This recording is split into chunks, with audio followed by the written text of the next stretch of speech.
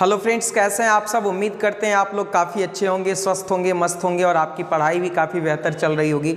तो आइए आज आपका स्वागत करते हैं एक बहुत ही मज़ेदार वीडियो में, जिसके अंतर्गत हम लोग टाइम मेंटेंस के कुछ बहुत ही चुनिंदा सवाल को आपके लिए लेकर आए हैं, जो या तो पहले पूछे गए हैं एग्जामिनेशन में, या आने वाले एग्जामिनेशन में पूछे जाने की संभावना है।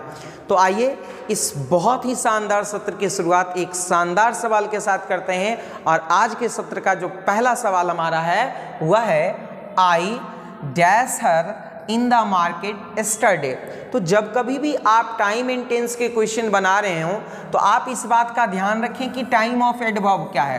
तो यहाँ पे टाइम ऑफ़ एडवर्ब के रूप में एस्टरडे है। तो टाइम ऑफ़ एडवर्ब के रूप में आपका एस्टरडे है। तो हम लोग ये ध्यान देंगे कि जब कभी भी टाइम ऑफ़ एडवर्ब के रूप में एस्टरडे हो प्रीवियस डे हो प्रीवियस डे हो लास्ट डे हो लास्ट डे हो अगो हो इस तरह का कोई भी टाइम ऑफ़ एडवर्ब रहेगा तो वो सेंटेंस सिंपल पास्ट में होगा और सिंपल पास्ट का जो स्ट्रक्चर होता है, वह सब्जेक्ट प्लस भाव का दूसरा रूप प्लस क्या होता है? ऑब्जेक्ट होता है। तो अगर हम बात करते हैं दिए गए विकल्प पे तो दिए गए विकल्प में हमारा तीसरा ऑप्शन बिल्कुल करेक्ट है, क्योंकि हमारा मीट का जो तीसरा रूप होता है, वो क्या होता है, बाबू? वो मीट होता है। चलते हम लोग अगले प्रश्न की तरफ़।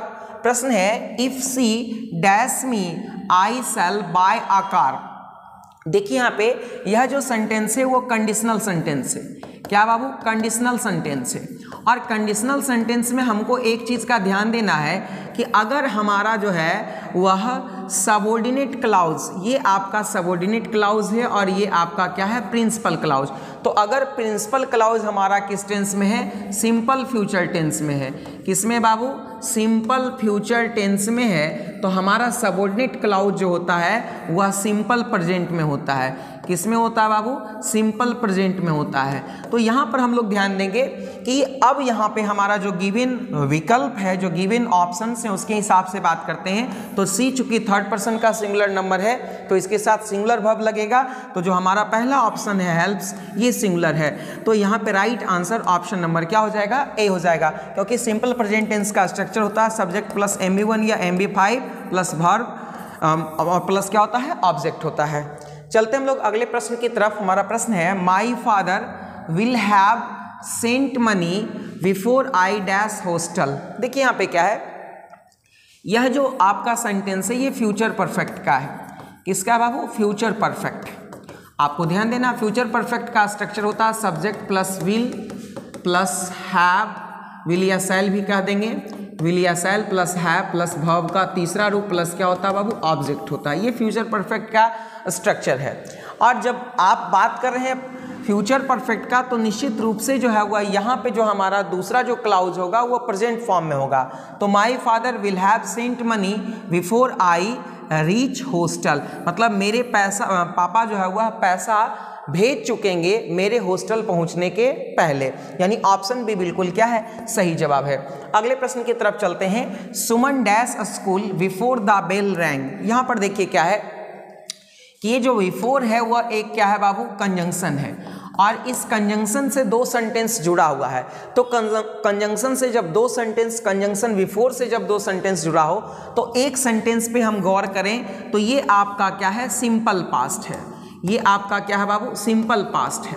तो ये जो सेंटेंस होगा, वो किसमें होगा? पास्ट परफेक्ट में। क्योंकि मैंने आपको पहले भी बताया है कि पास्ट परफेक्ट जो है, वह अकेले नहीं आता है, अपने साथ एक और सेंटेंस को लाता है, और वो जो सेंटेंस होता है, वो सिंपल पास्ट का होता है। वो क्या होता है बाबू? सिंपल पास्ट का होता है, और ये दोनों के दोनों पास्ट परफेक्ट और सिंपल पास्ट बिफोर या आफ्टर से क्या होते हैं? कनेक्टेड होते हैं। तो यहाँ पर जो है, ये पास्ट परफेक्ट होगा तो इसका जो स्ट्रक्चर होता है सब्जेक्ट प्लस हैड प्लस भाव का तीसरा रूप प्लस क्या होता है? ऑब्जेक्ट होता है। तो यहाँ पे जो हमारा राइट आंसर हो जाएगा, वो ऑप्शन नंबर बी होगा। Suman had reach the school before the bell rang चलते हम लोग अगले प्रश्न की तरफ़। I wish I dash a cricketer देखिए यहाँ पे क्या है कि अगर आई विश हो वी विश हो, और इस तरह का कोई भी जो है वह सपोजिशनल सेंटेंस हो तो सपोजिशनल सेंटेंस जहाँ पे भी आपको मिल रहे हो तो सारे सब्जेक्ट के साथ हम लोग कौन से वर्ब का प्रयोग करते हैं? तो वर का प्रयोग करते हैं। यानी ऑप्शन नंबर सी बिल्कुल क्या है? सही जवाब है। और ये बहुत ही इंपॉर्टेंट सवाल है। इस तरह के सवाल अक्सर परीक्षा में पूछे जाते हैं। चलते हम लोग अगले प्रश्न की तरफ़। प्रश्न है सी टॉक्स एज इफ़ यहाँ पे देखिए क्या है एज इफ़ लगा हुआ है। एज इफ़ का मतलब होता है मानो की। एज इफ़ का मतलब क्या होता है, बाबू, मानो की या मानो, है ना? तो यहाँ पर बात करते हैं कि जब कभी भी किसी सेंटेंस में एज इफ़ लगा हो तो इसके बाद सब्जेक्ट चाहे कोई भी हो वर्ब हमेशा क्या लगता है? वर लगता है। She talks as if she were a scientist हुआ ऐसे बात करता है, मानो क्या हो? वैज्ञानिक हो। तो यहाँ पे जो है, हमारा राइट आंसर हो जाएगा क्या? ऑप्शन नंबर सी और ये बहुत ही इंपॉर्टेंट सवाल है, इसे आप याद रखेंगे। एज इफ़ के बाद कोई भी सब्जेक्ट अगर आता है सपोजिशनल सेंटेंस में तो वहाँ पे सारे सब्जेक्ट के साथ क्या लगता है? वर्ब वर्ब लगता है। चलते हम लोग अगले प्रश्न की तरफ़। Neha dash absent for a long time देखिए यहाँ पे क्या है कि नेहा जो है वह लंबे समय से क्या है, अनुपस्थित है। तो इस तरह के सेंटेंस को जनरली हम लोग जो है वह प्रेजेंट परफेक्ट में रखते हैं। तो यहाँ पे राइट आंसर हो जाएगा क्या? तो Neha has been absent for a long time यानी नेहा जो है वह लंबे समय से क्या है, अनुपस्थित है। चलते हम लोग अगले प्रश्न की तरफ़। प्रश्न है I wish my mother dash a doctor I wish my mother dash a doctor देखिए यहाँ पे जब कभी भी आई विश वी विश और ही विशेज इस तरह का कोई भी सेंटेंस रहता है तो ये जो है वह आपका सपोजिशनल सेंटेंस होता है। और मैंने पहले ही बताया कि सपोजिशनल सेंटेंस में सब्जेक्ट चाहे कोई भी रहे वर्ब हमेशा क्या लगता है? वर लगता है। यानी इस प्रश्न का जो राइट आंसर हो जाएगा, वो ऑप्शन नंबर क्या हो जाएगा बाबू? एक हो जाएगा। अगले प्रश्न की तरफ़ चलते हैं। प्रश्न है did you dash to Patna last month आप देखिए यहाँ पे क्या है? कि लास्ट पास्ट अगो बिफोर रहेगा, अगर किसी भी सेंटेंस में तो वो क्या हो जाएगा बाबू? सिंपल पास्ट हो जाएगा। और ये सिंपल पास्ट का क्या है? इंट्रोगेटिव सेंटेंस ये जो आपका कंसेप्ट है, वो है सिंपल पास्ट का है ना इंट्रोगेटिव सेंटेंस देखिए, इस तरह के जो प्रश्न हैं, इसमें अक्सर हम लोग गलती कर बैठते हैं कि अब लास्ट देखें तो हमको लगा सिंपल पास्ट होगा तो हम यहाँ पे डायरेक्ट भर्व का दूसरा रूप लगा देते हैं। लेकिन हमको ये ध्यान देना है कि ये सिंपल पास्ट का इंट्रोगेटिव सेंटेंस है और डीड का प्रयोग ऑलरेडी किया जा चुका है। तो जब डीड का प्रयोग किया जा चुका है तो अब यहाँ पर हम लोग भर्व के पहले रूप का क्या करेंगे? प्रयोग करेंगे। तो यहाँ पर जो हमारा राइट आंसर हो जाएगा, वो क्या हो जाएगा? ऑप्शन नंबर सी यानी गो हो जाएगा। अगले प्रश्न की तरफ़ चलते हैं। प्रश्न है his father will have reached the station before the train देखिए यहाँ पे क्या है कि अभी आपका फ्यूचर परफेक्ट है। और फ्यूचर परफेक्ट के साथ जब दूसरा क्लाउज होगा तो सिंपल प्रेजेंट में होगा। तो यहाँ पर जो है वह राइट आंसर क्या हो जाएगा? द ट्रेन स्टार्ट्स यानी ऑप्शन नंबर बी क्या हो जाएगा? सही हो जाएगा, क्योंकि ये वाला क्लाउज जो है, वह क्या होगा? वो सिंपल प्रेजेंट में होगा और वो वाला क्लाउज किसमें था बाबू? तो वो वाला क्लाउज आपका जो है हुआ फ्यूचर परफेक्ट में था। चलते हम लोग अगले प्रश्न की तरफ़। प्रश्न है we shall organise cultural programme if the principal dash us अब यहाँ पर देखिए क्या है कि यह भी सेंटेंस जो है वो कंडीशनल है। कंडीशनल सेंटेंस का क्या मतलब होता है बाबू? कि जब कभी भी किसी सेंटेंस में कोई कंडीशन लगा हो कि ऐसा होता है तो ऐसा होगा, ऐसा होता तो ऐसा होगा। अगर तुम मुझे याद करोगे तो मैं भी तुझे याद करूँगा। अगर तुम मुझे प्यार करोगे तो मैं भी तुम्हें प्यार करूँगा। अगर इस तरह की बातें हैं तो ये कंडीशनल सेंटेंस है। तो यहाँ पे क्या है? कि we shall organise cultural programme, हम लोग सांस्कृतिक क्रम, कार्यक्रम का आयोजन करेंगे। इफ़ द प्रिंसिपल डैश अगर प्रिंसिपल हम लोगों को अलाउ करते हैं तो ये वाला अगर आपका जो है वह क्या है? तो ये वाला अगर सिंपल फ्यूचर में है, ये वाला क्लाउज आपका किसमें है गुरु? तो सिंपल फ्यूचर में है तो ये वाला आपका किसमें हो जाएगा? सिंपल प्रेजेंट में होगा। तो अगर ये सिंपल प्रेजेंट में है तो द प्रिंसिपल जो है, वो थर्ड पर्सन सिंगुलर नंबर है। इसके साथ सिंगुलर वर्ब का प्रयोग करेंगे तो यहाँ पे राइट आंसर क्या हो जाएगा? ऑप्शन नंबर बी अलाउस चलते हम लोग अगले प्रश्न की तरफ़। हमारा प्रश्न है she easily dash to temple every morning देखिए, अगर इस तरह का टाइम ऑफ़ एडवर्ब हो एवरी मॉर्निंग एवरी इवनिंग तो इस तरह के टाइम ऑफ़ एडवर्ब हो तो ये हमको मान करके चलना चाहिए कि सेंटेंस जो है वह किसमें हो जाएगा?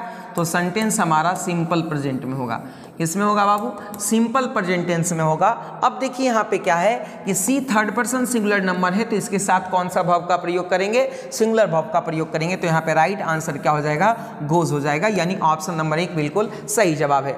अगले प्रश्न की तरफ़ चलते हैं। प्रश्न है by this time tomorrow Sita dash home. देखिए, अगर इस तरह का सेंटेंस रहता है by this time by January by February, और इससे कोई फ्यूचर का टाइम का जो है हुआ बोध हो, और ये लगे कि फ्यूचर में दिए गए समय के भीतर कोई काम पूरा कर लिए जाने की संभावना है तो वो तमाम सेंटेंस को हम लोग क्या कर, किसमें रखते हैं? तो फ्यूचर परफेक्ट में रखते हैं। किसमें रखते हैं बाबू? फ्यूचर परफेक्ट में रखते हैं। और इस तरह का सेंटेंस बहुत ही ज़्यादा महत्वपूर्ण होता है एग्जामिनेशन पॉइंट ऑफ़ व्यू से। और इसमें जो है वह सब्जेक्ट के साथ हम लोग विल या सेल का प्रयोग करते हैं। उसके बाद हम लोग हैव का प्रयोग करते हैं। उसके बाद भर्व के तीसरे रूप का प्रयोग करते हैं और फिर किसका प्रयोग करते हैं? ऑब्जेक्ट का प्रयोग करते हैं। ये हम लोगों को ध्यान देना है। तो बाय दिस टाइम अगले समय तक, इस समय तक कल सीता डैश होम सीता घर पहुँच चुकेगी।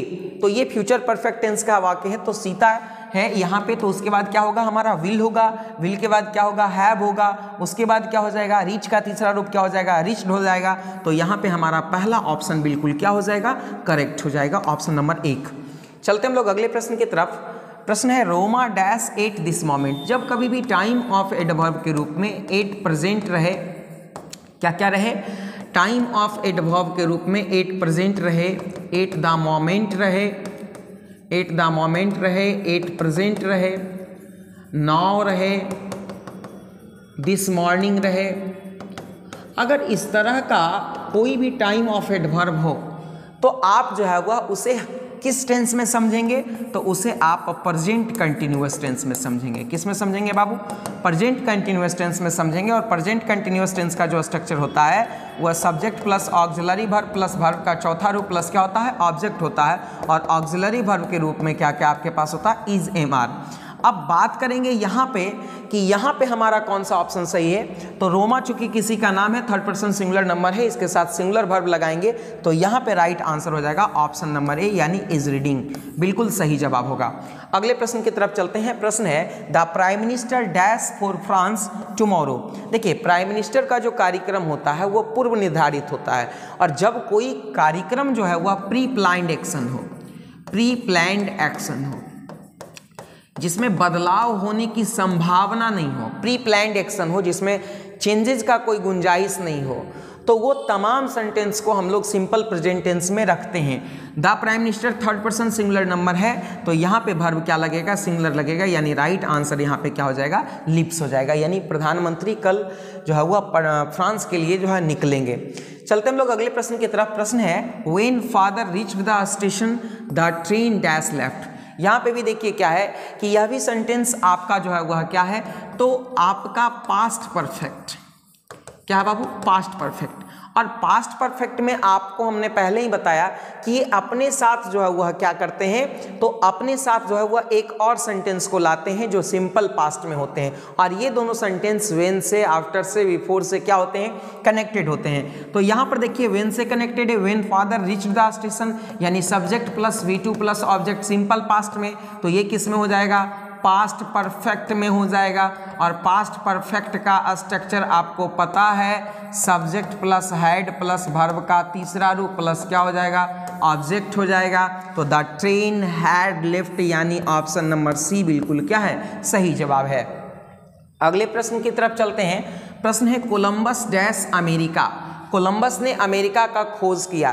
तो कोलंबस ने अमेरिका का खोज किया, यानी ये पास्ट की बात है। तो यहाँ पे जो है वह क्या हो जाएगा? डिस्कवर्ड, यानी सब्जेक्ट प्लस भाव का दूसरा रूप प्लस ऑब्जेक्ट, यानी इस तरह के सेंटेंस को हम लोग किसमें रखेंगे बाबू? सिंपल पास्ट में रखेंगे, यानी ऑप्शन भी बिल्कुल क्या है? सही जवाब है। अगले प्रश्न की तरफ़ चलते हैं। प्रश्न है Sushmita gone before father came ये भी देखिए आपका क्या है? तो यह भी कंसेप्ट जो है, वह सेम सेम है कि अगर आप पास्ट परफेक्ट को लेते हो तो पास्ट परफेक्ट सेंटेंस में जो है, वह क्या होता है? कि दो क्लाउज होता है। एक जो होता है, वो सिंपल पास्ट होता है। एक क्या होता है बाबू? सिंपल पास्ट होता है, जो कि पास्ट परफेक्ट से बिफोर या आफ्टर से क्या होता है? कनेक्टेड होता है। तो ये वाला जो सेंटेंस होगा, वो किसमें होगा? तो ये वाला सेंटेंस आपका किसमें हो जाएगा? पास्ट परफेक्ट में हो जाएगा। और इसका स्ट्रक्चर आपको पता है subject plus had plus verb का तीसरा रूप प्लस क्या होता है? ऑब्जेक्ट होता है। तो यहाँ पे राइट आंसर क्या हो जाएगा? ऑप्शन नंबर बी यानी हेड हो जाएगा। चलते हम लोग अगले प्रश्न की तरफ़। प्रश्न है by this time tomorrow I dash my walk मैंने आपको पहले ही बताया इस तरह का कंसेप्ट कि अगर बाय दिस टाइम लगा हो फ्यूचर का कोई टाइम हो तो निश्चित रूप से वो फ्यूचर परफेक्ट होगा, जो ये बता रहा कि भविष्य में दिए गए समय के भीतर कोई काम पूर्ण कर लिए जाने की क्या है? संभावना है। तो यहाँ पर देखिए क्या हो जाएगा। फ्यूचर परफेक्ट जो टेंस होता है, ये फ्यूचर परफेक्ट टेंस का जो है वह आपका स्ट्रक्चर क्या होता है? तो ये आपका स्ट्रक्चर होता है सब्जेक्ट प्लस विल या विल या, सेल, प्लस हैव, प्लस भव का तीसरा रूप, प्लस क्या होता है बाबू? ऑब्जेक्ट होता। अब देखिए यहाँ पे राइट आंसर जो हो जाएगा, वो ऑप्शन नंबर क्या हो जाएगा? बी हो जाएगा। बिल्कुल सही जवाब है। अगले प्रश्न की तरफ़ चलते हैं। प्रश्न है the patient had died before the doctor dash अब देखिए यहाँ पे क्या है? ये पास्ट परफेक्ट है। तो ये पास्ट परफेक्ट है और बिफोर आफ्टर से कनेक्टेड है। तो ये आपका क्या हो जाएगा? तो ये आपका जो है हुआ सिंपल पास्ट हो जाएगा। तो यहाँ पे द डॉक्टर क्या हो जाएगा? केम हो जाएगा। चूँकि सिंपल पास्ट का स्ट्रक्चर सब्जेक्ट प्लस भव का दूसरा रूप प्लस ऑब्जेक्ट कम का दूसरा रूप क्या हो जाएगा? केम हो जाएगा। यानी राइट आंसर हो जाएगा ऑप्शन नंबर एक। बिल्कुल सही जवाब है। तो दोस्तों उम्मीद करते हैं कि आज का ये महत्वपूर्ण सत्र, बहुत ही इंपॉर्टेंट सत्र आपको बहुत अच्छा लगा होगा, आपको मज़ा आया होगा, आप बहुत कुछ सीखे होंगे। तो यदि आपको अच्छा लगा है तो हमें कमेंट करके बताइए कि आपको कैसा लगा है। और आप हाँ आप अपने दोस्तों के साथ इसे ज़रूर शेयर कीजिएगा। और यदि वीडियो अच्छा लगता है तो आप जो है वह लाइक ज़रूर कीजिएगा। धन्यवाद।